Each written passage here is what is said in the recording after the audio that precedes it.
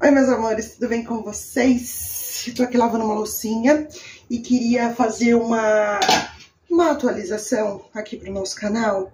É, vocês me acompanharam aí no vlog de rotina há duas semanas atrás. Eu tô lavando louça, gente, tô com uma pia cheia de louça aqui, então eu vou fazer um, um lava e fala aqui com vocês, tá bom?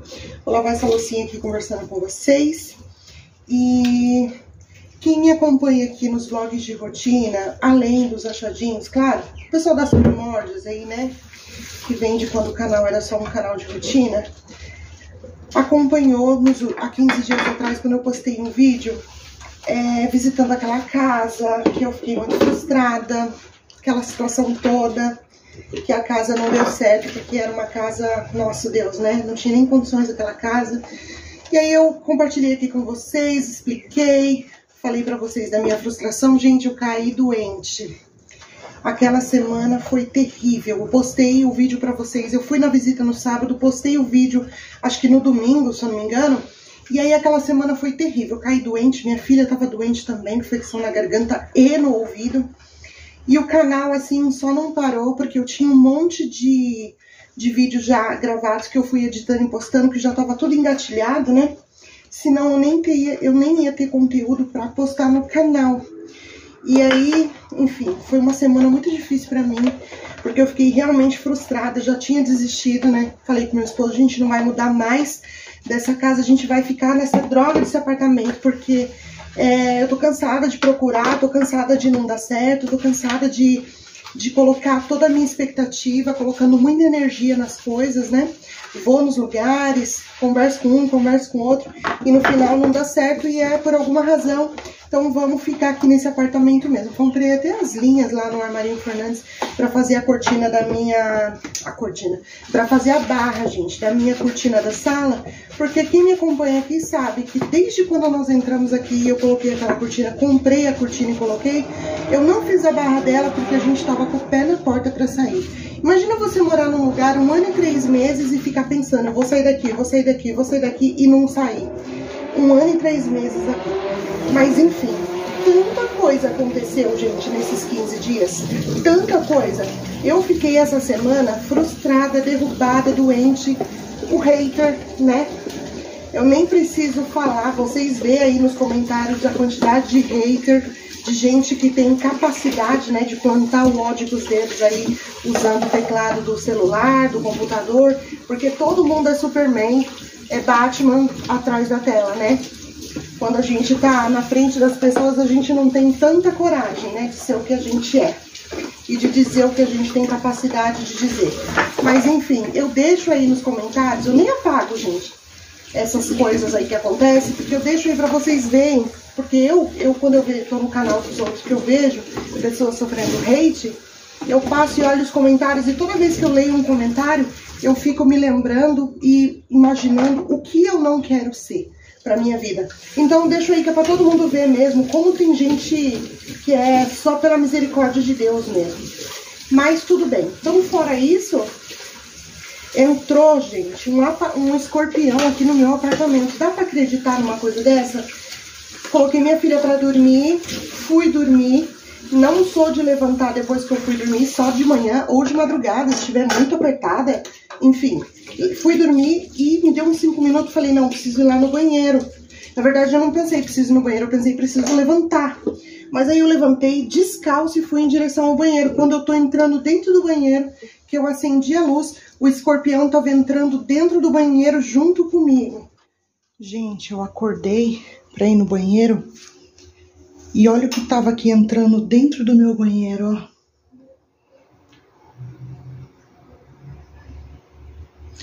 Eu joguei, tá todo molhado porque eu joguei muito produto é, de Baigon. Mas antes de jogar o Baigon, eu esmaguei ele com o chinelo. Eu tô apavorada, meu Deus do céu. Olha isso. Detalhe, eu descalça. Acendi a luz quando eu olhei um escorpiãozinho, tipo um escorpião pequenininho, mas ele tava indo para dentro do banheiro. Ai, já entrei em desespero. Peguei o chinelo, fiz o que deveria fazer, que era arrebentar com ele, esmaquei ele com o chinelo. Porque eu me desesperei, pensei, minha filha tá no outro quarto. E se picou, minha filha, né? E se tem mais na casa? Ai, gente, eu entrei em desespero. Aí meti baigão assim no, no chão, o chão ficou todo molhado de baigão, de tanto baigão que eu passei em cima dele. Aí liguei pro meu marido que tava trabalhando, né, no aplicativo, tava dirigindo no aplicativo, ele veio para casa imediatamente. Ainda bem que Deus é tão bom, né, que ele tava nas imediações. Não tava tão longe. Aí pegou, desligou o aplicativo, já veio correndo para casa. Chegou aqui, a gente virou a casa inteira. O quarto da Adri, eu sacudi a Adri do avesso, a Adri dormindo. Era uma hora da manhã, a Adriana dormindo. Eu tirei, assim, os lençóis dela, a coberta dela, verifiquei todo o corpinho dela. Levantamos a cama, o colchão. Olhamos, fizemos uma varredura no quartinho dela, no nosso, na sala, na cozinha. A gente só não mudou o guarda-roupa de lugar porque não tinha condições de mudar o guarda-roupa, gente. O resto, tudo a gente levantou, até o, o, sofá. A gente levantou o sofá da sala, mesa, tiramos do lugar, tudo. Procurando, porque de onde tem um, vem outros. Aí tá bom. Passou. Psicológico abaladíssimo, 4 horas da manhã, eu voltei a dormir. Meu esposo já tinha ido dormir, tava exausto, né?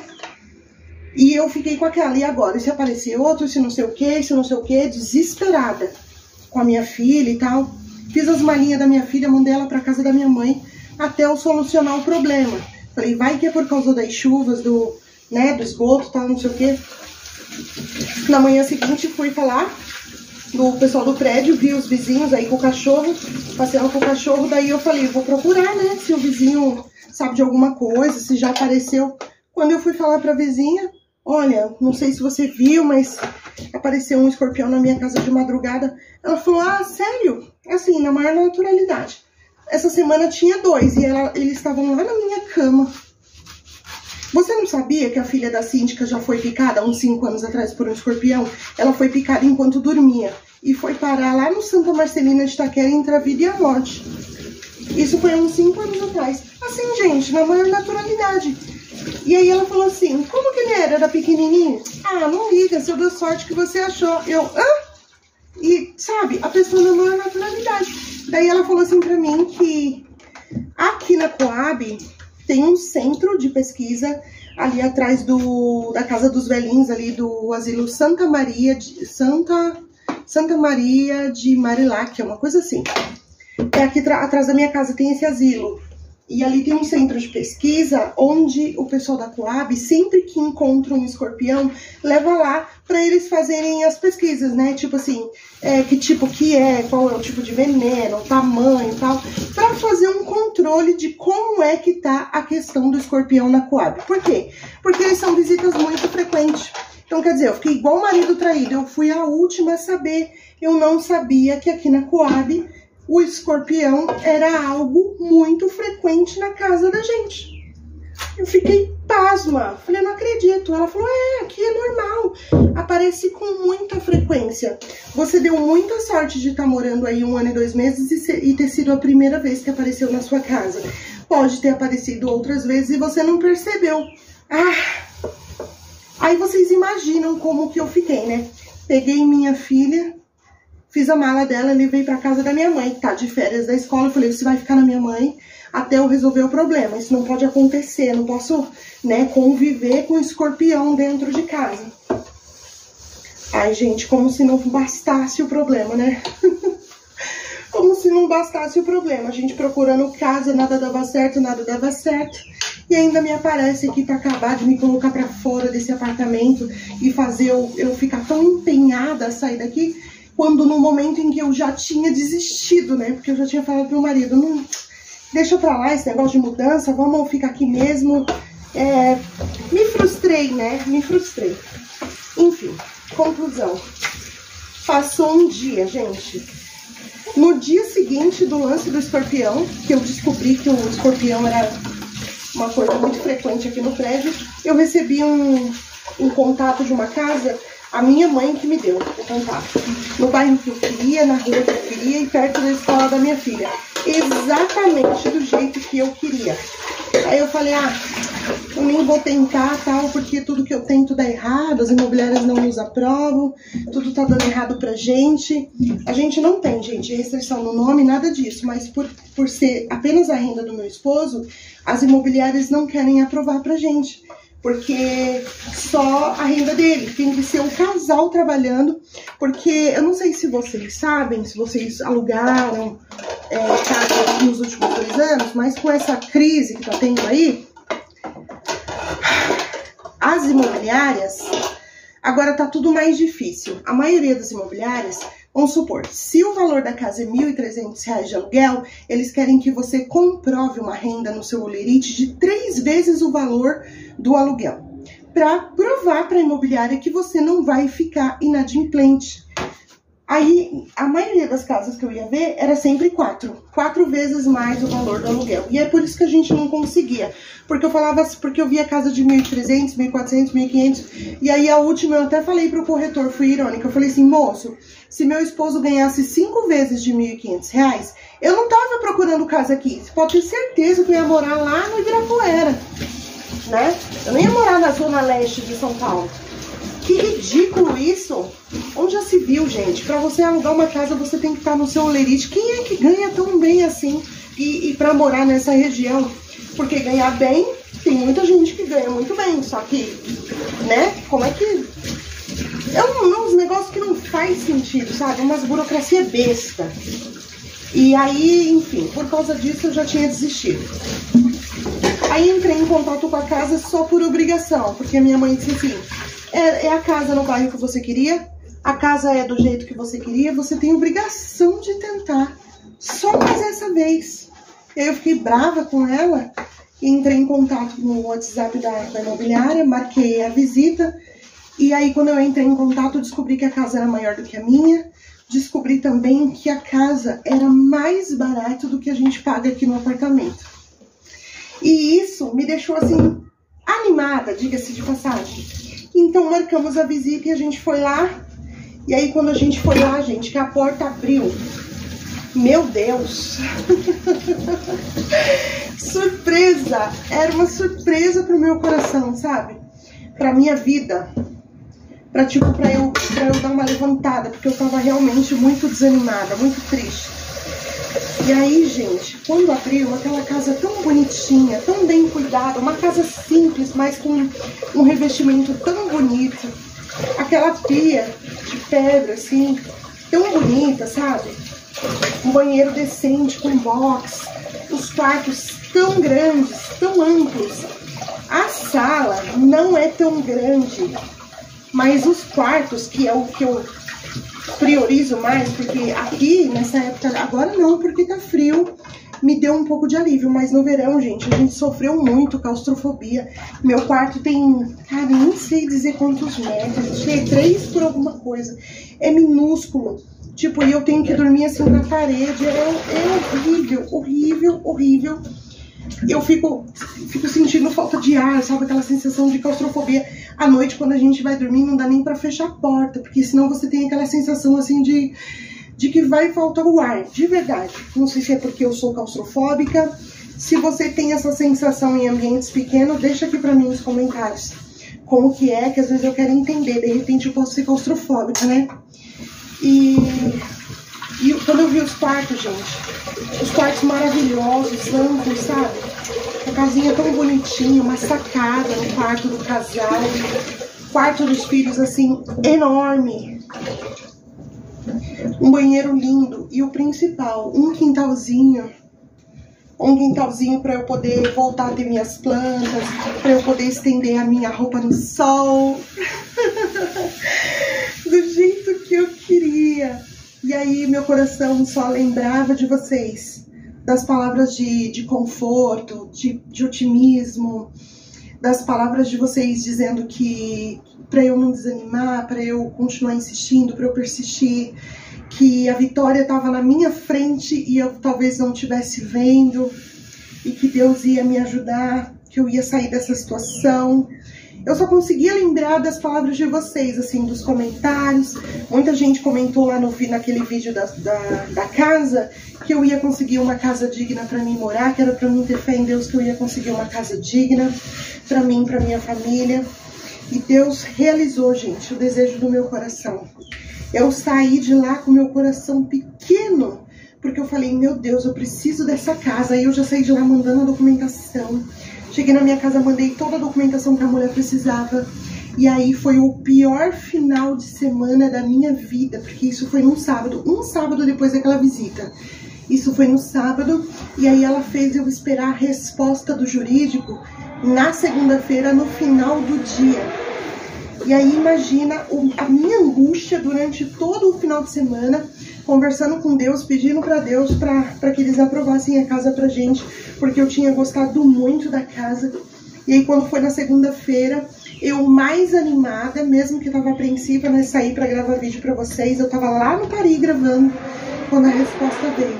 Eu quase caí dura quando ela disse assim: Jussara, todos os documentos que você enviou para nós pelo WhatsApp para comprovação de renda, documentação de vocês, agora você precisa trazer o documento físico na imobiliária para a gente poder tirar xerox. Você foi aprovada para casa. Ai, meu Deus, não acredito! Eu quase caí dura dentro da loja onde eu tava. Imagina a minha alegria, a minha felicidade. Eu respirei tão aliviada como eu tô agora. E aí, gente, começou o nosso processo de mudança. Eu sei que agora é... eu tô mais perto de tudo onde eu preciso, minha logística vai melhorar, a minha rotina vai melhorar bastante por causa de um monte de coisas, né? Escola das crianças, a minha localização, tudo vai melhorar, tudo, tudo vai melhorar a partir de agora e eu tô muito feliz, eu tô muito agradecida. Eu queria agradecer cada um de vocês, e a louça não termina, e a louça não termina. Eu queria agradecer cada um de vocês que estão aqui comigo no canal, que deixaram um, um comentário positivo, né? Um incentivo para mim ter fé, para mim não desistir a querida Inês que disse que eu ia ter a minha cozinha dos sonhos. Agora eu posso, Inês. Agora eu posso ter a minha cozinha lá. Já tô até olhando. Já tô até olhando aí a minha cozinha. Porque eu não posso ficar, né, gente, com as minhas coisinhas no chão. Aqui no apartamento eu tenho a, esse armarinho aqui que o proprietário deixou. É onde eu guardo as minhas coisas. Inclusive todas as coisas de vidro, ó. Tá vendo lá? Tá vazio, eu já tirei e coloquei numa caixa ali. Eu só coloquei na caixa ali, mas eu tô procurando.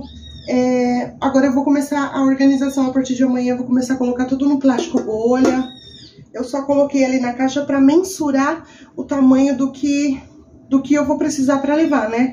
E as caixas ali não são suficientes. Então, é só mesmo para dar uma ver se eu tô em terra firme. Se eu vou precisar de mais caixa, eu vou precisar de mais caixa, eu vou precisar de mais sacos, vou precisar de plástico bolha.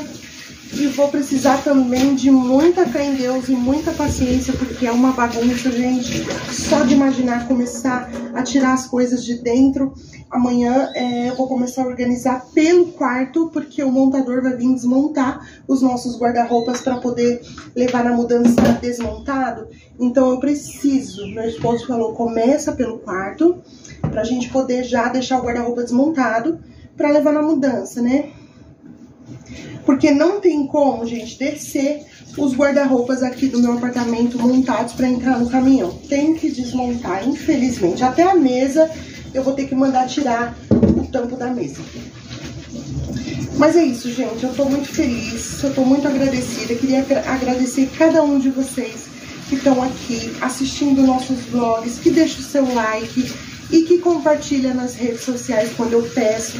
Eu sempre peço para vocês compartilhar, porque eu quero me é, monetizar, né? Quero me conseguir fazer, receber do YouTube, ter a minha rendinha, porque todos os dias eu levanto de manhã e pego um ônibus, pego um metrô e eu pago passagem no meu bolso para ir para a cidade, para gravar os vídeos para vocês. E agora nas férias eu tenho ido com a minha filha, eu pego ônibus com ela, então é difícil, né, pagar passagem para mim e para ela. Tudo isso é um investimento no canal e eu faço isso com muita paixão. Eu adoro segurar minha câmera, gravar, falar com vocês, fazer o que eu gosto de fazer. Eu não, isso não é um trabalho mecânico, tá? Eu gosto muito de fazer. Eu tenho paixão pelo que eu faço, por ir lá, por mostrar para vocês as coisas bonitas, eu gosto muito. Então, estou muito feliz, eu não tenho nada para reclamar, só para agradecer, mas eu estou aí tentando alcançar a monetização, né? A cartinha do AdSense já chegou.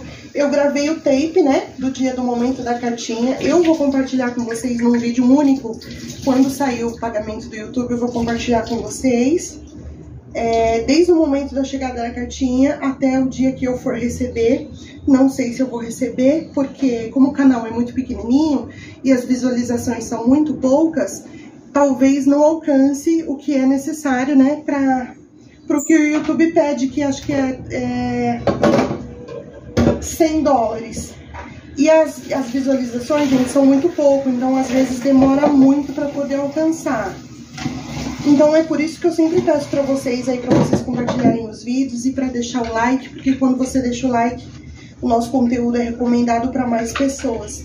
E aí a nossa família vai crescer e eu vou poder ser monetizada, porque é bem, é bem difícil, gente, pagar passagem do bolso, ir lá e fazer o que tem que ser feito. Mas enfim, muito obrigada a todos vocês, eu só queria agradecer. É... os comentários, os positivos. Eu agradeço até pelo hate, porque o hate também ensina pra gente várias lições na vida, né?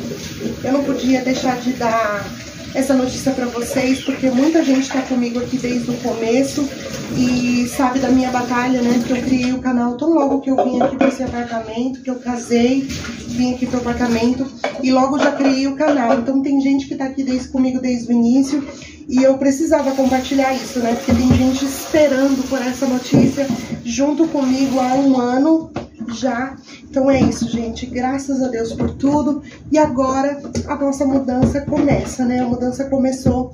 Eu estou me mudando e assim que vocês verem esse vídeo, eu vou provavelmente já vai estar me mudando, já vou ter me mudado até, tá? Então, quando eu postar esse vídeo, muito provavelmente ou eu estou de mudança no dia ou já terei me mudado. Então é isso, gente. Eu espero que vocês tenham gostado aí dessa, dessa notícia, né? Pra mim foi maravilhoso. Eu tô aqui regozijada, muito agradecida a Deus por essa bênção que eu alcancei. Muitos podem dizer assim, nossa, mas é só uma casa. Gente, vocês não sabem o que eu passei para conseguir uma casa. Vocês não sabem os percalços que eu passei aqui nesse apartamento, para que, que desde quando a gente chegou, os percalços faziam desde quando a gente chegou querer sair. Então eu passei muitas coisas aqui muito difíceis. Então hoje poder dizer que tô graças a Deus, saindo daqui e muito grata também por essa passagem aqui, por esse apartamento, porque quando eu tava para casar não tinha, não aparecia nada, a gente não conseguiu alugar nada. Esse apartamento foi uma provisão de Deus. E como tudo que é de Deus, que é uma provisão, é rápido nas nossas vidas. Então a gente sabia que, embora estivesse demorando, era só uma provisão e isso ia passar. E a gente ia sair daqui o o, o quanto antes, né? E é isso, demorou o que tinha que demorar, ficamos aqui o tempo que tinha que ficar, e agora eu tô encerrando esse ciclo e partindo para um ciclo novo, e tudo que é novo é bom, e eu tô muito feliz. Eu espero que vocês tenham ficado felizes também por mim. Eu sei que muita gente tá. Eu sei que nesse momento, enquanto vocês me assistem aqui, essa gordinha falando, vocês estão sorrindo aí do outro lado. Eu sei que tem muitas pessoas aqui que tem muita, muito, muito, muito Deus no coração. E os que não nos conhecem, sejam muito bem-vindos. Se você está passando por aqui, já se inscreve aqui no nosso canal, ativa o sininho para você não perder a notificação dos próximos vídeos. E se vocês querem, gente, ver o conteúdo da mudança, os blogs aí de rotina, de mudança, preparação da mudança, o tour da casa nova, deixa nos comentários, porque eu tô criando um novo canal para essa finalidade, né? Porque eu já percebi que toda vez que eu posto aqui um vlog de rotina depois do sucesso dos achadinhos, não tem muita visualização, porque o pessoal quer ver as ofertas, né? Os achadinhos. Mas se vocês querem esse tipo de conteúdo, deixa aqui nos comentários que aí eu vou postar para vocês a partir de amanhã já mais uma sequência de vídeos de organização, que eu vou começar a desmontar tudo, é, mudança, vou mostrar a casa nova para vocês com certeza de primeira mão.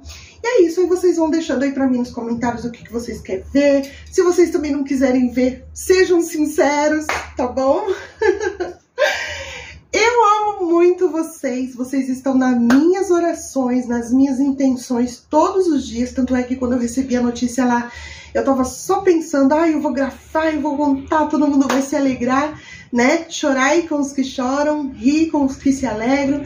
E é isso, gente. Deus abençoe vocês. Não sai desse vídeo sem deixar seu like, ativa o sininho para não perder a notificação. Um beijo e até o próximo vídeo da organização da mudança. Claro, já tem um monte de vídeo aí de ofertinha, de achadinho, que a gente vai colocando aí no decorrer da semana ok? Um beijo e até o próximo vídeo.